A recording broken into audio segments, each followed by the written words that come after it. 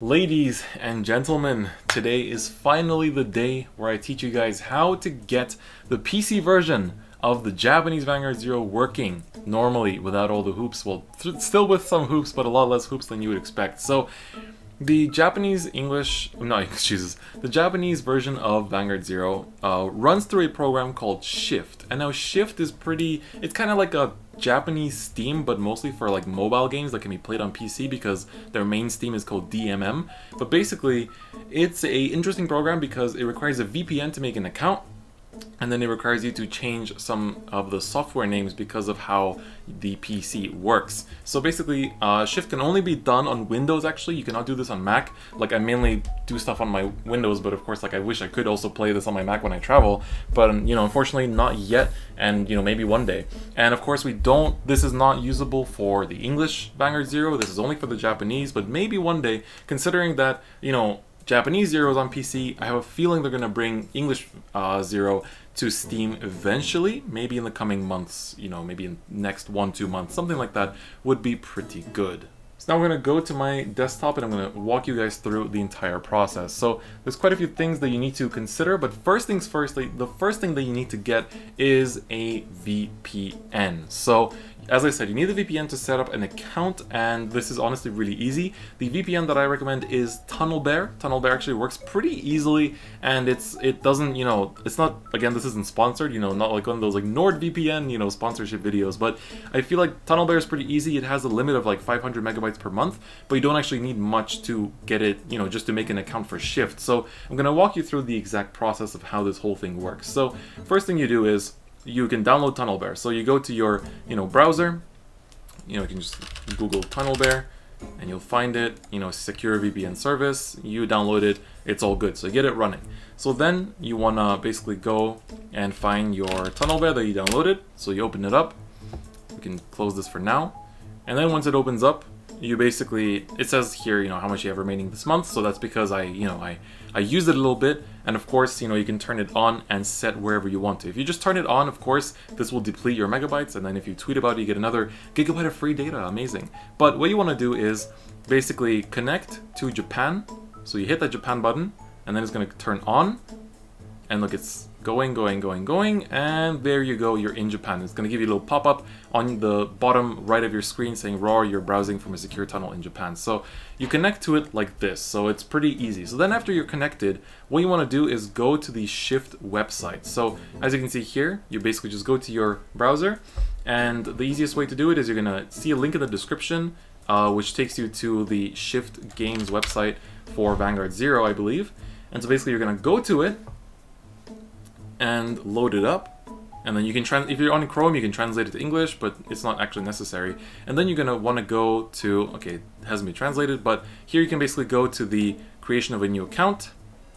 And so here you go to the sign up, and basically you can sign up with whatever you want, whether it's with Twitter. Here you can hit one of these to sign up with one of the social medias, or you can sign up with your email address. But you have to be connected to a VPN to do this, otherwise it doesn't let you. It just like doesn't do it. So you just need a VPN for this account creation.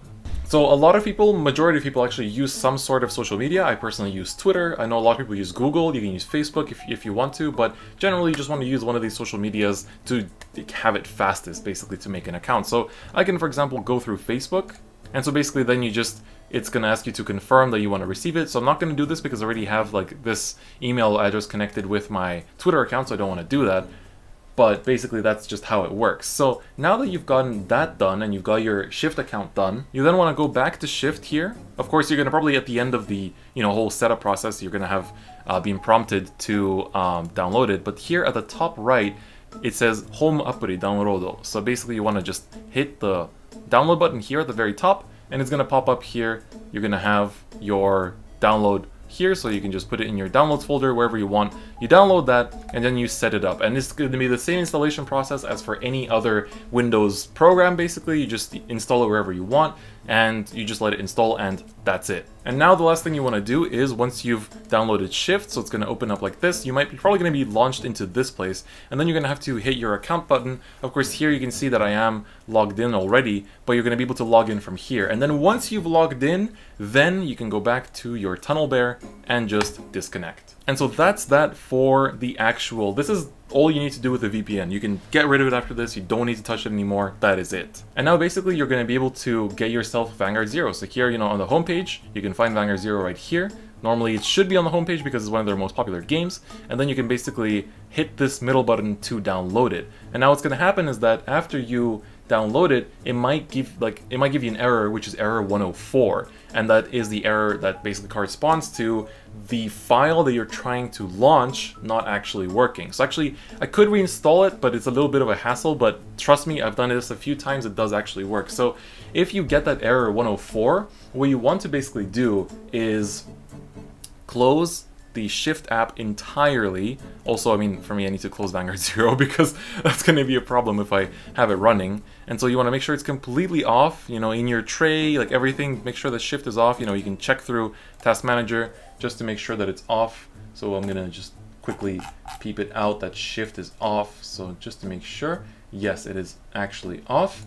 And so then what you want to do is you want to hit the search button here and type in percent app data percent to go to your roaming folder here. So this will open up and then you're basically going to have this big folder that you could just, you know, scroll down, you find shift, you go into the shift folder, and then you go to the apps folder within the shift folder, 80343, and then, or 34 rather, and then here, this folder and your Vanguard Zero executable will be like gibberish. How they look is like data and then zero. What you need to do is, in the description of this video, as well as the pinned comment, normally it should be in there, I will give you the names that you have to enter for that folder and for that app. So basically, these need to read Vanguard Zero and Vanguard Zero underscore data because in order to launch the program, the reason why the program can't find the files is because our Western PCs basically don't come with the Japanese keyboard to put the name in already. And so basically what you need to do is literally just go, you know, right click on it, go to rename, and then just type, just copy paste the thing you see in the thing. So make sure that the app ends with the zero, so the zero, and the folder ends with zero underscore data. So make sure you don't mix those up because if you mix those up, they will not run, it will not launch. Make sure you do that correctly. So then you can just name those and then that's it. That is actually it. So then you can relaunch your shift and normally then you're gonna be able to, after it boots up, so now you boot up your shift, as I said, just give it a moment. Sometimes it usually it launches pretty fast on startup, but of course sometimes it doesn't. And then you're gonna go to this third uh, selection. So here, just so you know what these mean, this is top, this is campaign. So for example, they often run these campaigns where you get some money back, you know, from spending or whatever else, or if you have like a like the Rakuten D point thingy, you know, it's all kinds of stuff that for us people living in the West we don't have. And then this is your library.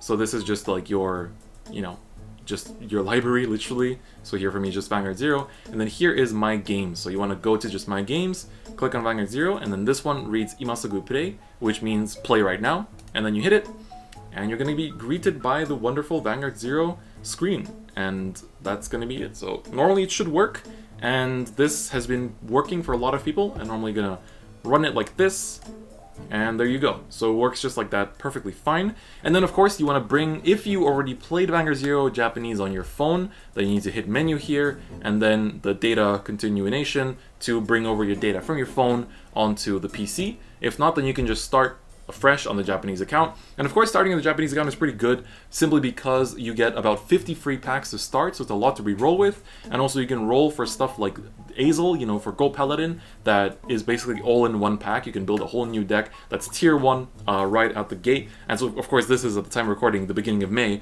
And of course, I think every month, every couple months, like whenever a new mechanic comes out, I think there will be basically like a good new deck that you can build right out of the box. So I think that's going to be quite nice for the game itself. So getting into Japanese Zero is honestly really, really easy. And so this process, like I was stuck for the longest time on the whole renaming thing. I never looked at the roaming folder. And then it was thanks to uh, Discord user PC Droid that walked me through it and gave me this little tutorial. So that's it. Normally this should work for you. If you're still having some issues, you can leave it in the comments. I might not be able to respond to everything, but I'll try to assist. If not, then I'll ask that some of the people that have got it working can also try to respond. But hopefully we can help each other out. You know, if you have it working, please maybe try to help the others out if they don't. But normally, unless you made some stupid mistake here and there, you know, which can happen, you know, we're all humans, um, it should be fine. It should normally be okay, and you'll have the game working and running on PC. And honestly, this is miles better than running it on BlueStacks. It doesn't eat up your CPU, you know, it doesn't eat into your memory. It's super, super smooth, and overall just great. Just keep in mind that your paid gems from your mobile